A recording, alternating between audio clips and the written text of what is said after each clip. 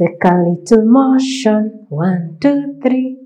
Take a little motion. One, two, three. Take a little motion. One, two, three. Everybody join the class. Are you joining the class?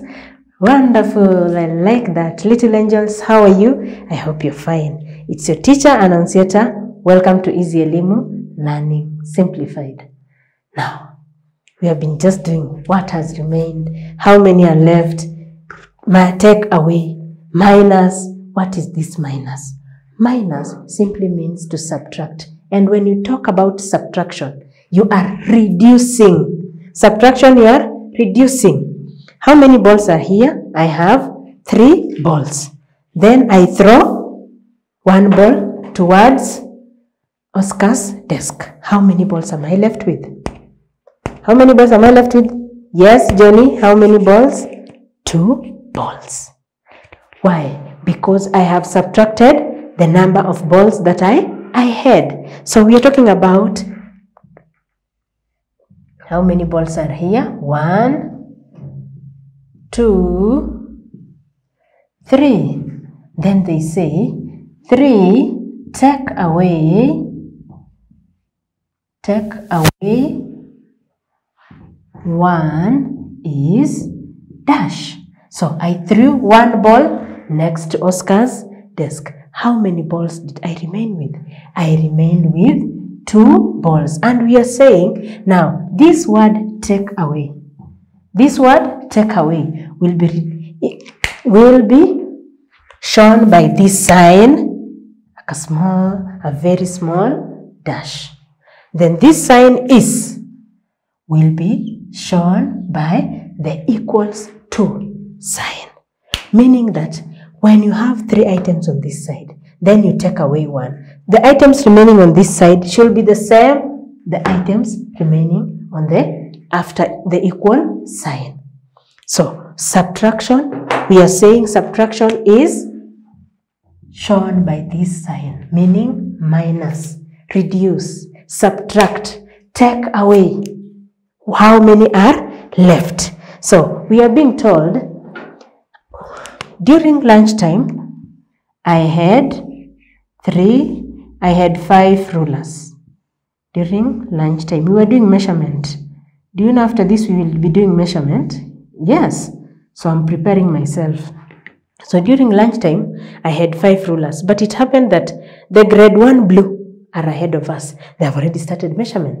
So they came and borrowed. Miss Annunciata, please assist us with two rulers. So they took two rulers, which means I subtracted two rulers from my five rulers. How many am I remaining with? So I have five rulers.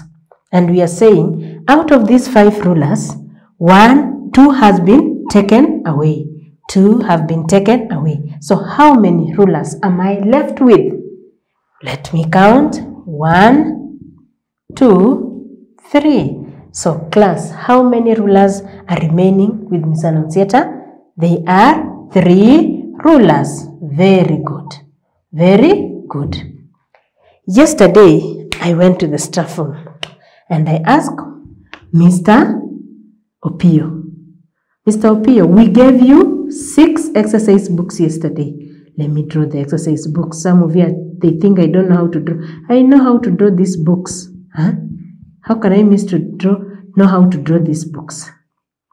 They look like butterflies. You, I'm waiting for you to draw yours so that I can see if they look like mine or they'll be like tables. So, Mr. Pio was given by grade 1 learners how many exercise books? They were six exercise books. Then, Mr. when Mr. Pio came for the lesson, do you know how many books he came with? Mr. Pio only came with three books. How many were taken to the staff room? They were six. But when Mr. Pio came back for the lesson, do you know he only came with three books? So, how many books were missing? So, Mr. Pio had only three books. So how many are remaining? We are missing three books. In the field yesterday, some girls had ropes. Some girls had ropes. They were skipping the public van, public van. Someone is asking me how many ropes. These girls were only two, and they were having two ropes. And they were grade two girls. I saw them. But now, when the grade fours came out for games, they went and took away the two ropes from these girls. So we are having how many ropes? Two ropes. Then grade fours are here to pick all the two ropes. How many are remaining? How many were left? Let us see. This rope has been taken. This one has been taken. So is there anything left there? No. What does it mean? I now introduce the second rule in subtraction. We said, what was the first rule in subtraction? Any number take away or any number minus a zero is that number. But now the question here is any number minus the same number, it becomes a zero. Is zero something? No, zero is nothing. The grade 2 learners had how many ropes? Two ropes.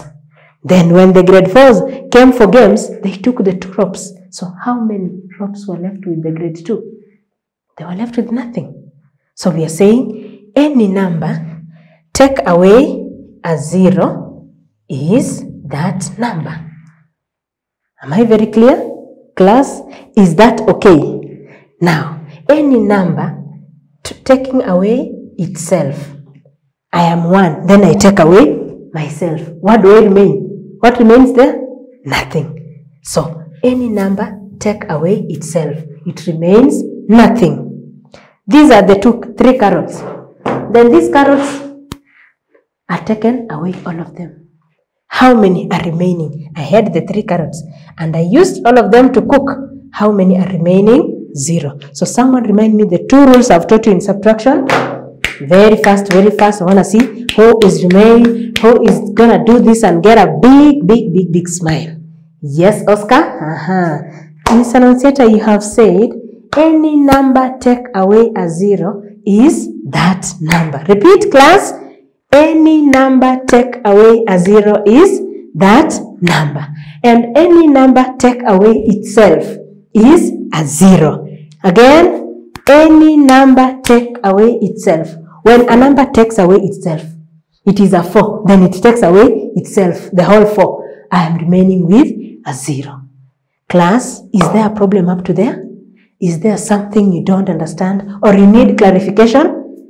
Any problem? Now, during your own free time, you will be counting the number of stones arranged along the parade square. Have you seen the parade square? There are some very nice colorful stones arranged there. So count those stones. Then you remove, you count the stones on the the longer side of the parade square, then the shorter side of the parade square. Then you remove all the stones on the shorter side. How many stones will be left on the longer side? When you go to the kitchen, the dining hall, during lunch hour, count all the tables. Then say, table 1 to table 5 will be used by grade 1s. How many tables will be left for grade 2s? Are we together? Have I communicated something?